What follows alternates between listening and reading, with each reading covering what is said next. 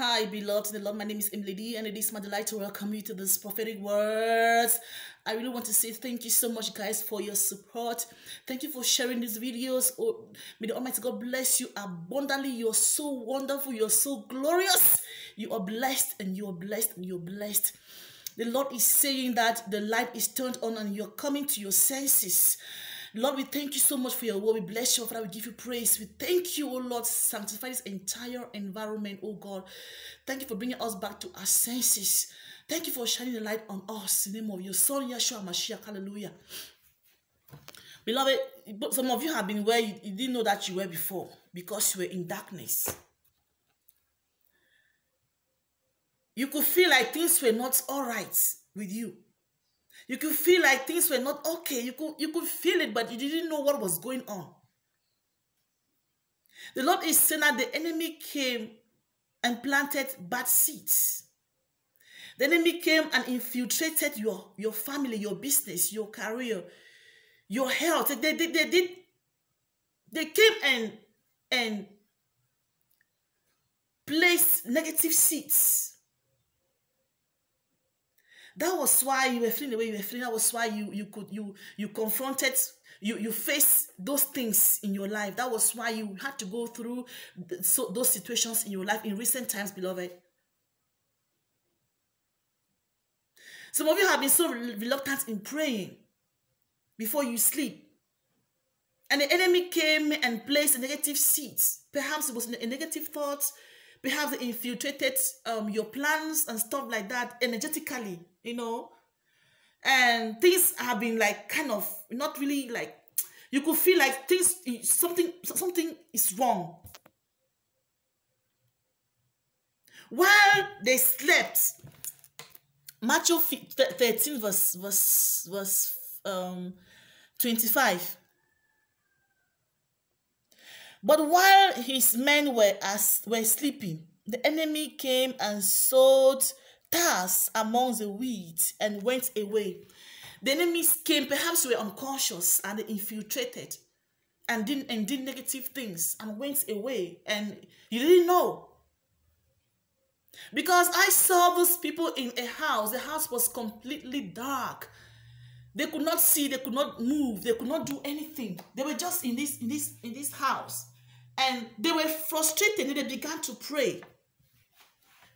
They began to pray, and all what I heard was, We command this light to come on now in the name that is above every other name. And the name, at the mention of this name, every knee must bow and every tongue must confess that Jesus Christ is Lord. And that was how light came on in this house. As light came on, they began to see their way out of the house. They began to understand where they were before is not where they wanted to be. Because when when light appears, darkness does darkness will never, never, never, never, never, never understand. John 1 verse 5. The light shines in the darkness, and the darkness did not comprehend it. So light came and came unto darkness, and darkness disappeared at the mention of the name of Jesus Christ. And because of the disappearance of the darkness, people began to come back to their senses. That's the Lord has told this moment that the light, the, the darkness that was in your life, that was that was planted, the negative seeds in your life that, that, that, that, that were planted by the enemies are being uprooted. And the darkness in your life is being taken away. The, the darkness that, that situations, that, that caused blurry visions, the darkness that caused, caused doubt, the darkness that, that, that caused, caused you to make wrong decisions has disappeared and light has come. And because of the presence of this light, you're coming back to your senses now. If you have not already started come back to your senses, beloved, you will begin to come back to your senses to knowing that some of the things that you've you've done so far, some of the decisions decisions that you made so far have not been the best. And you need to reprogram yourself, doing things now differently, beloved, because now you you'll be filled with the inspiration that you need to move forward.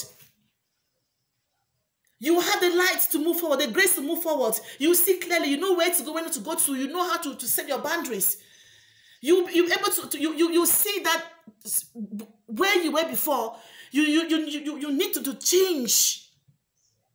Because you come back to your senses. There's some things that you, you did that you, you, you were out of your sense, but now because you come back to your senses, you can redo things again, beloved. Thank you so much. You the light is turned on and you're coming back to your senses now in the name of Jesus Christ. Thank you. That was our heart for you. May the word of God be blessed in your life. Come back to your senses. Come back to your senses now. Think clearly.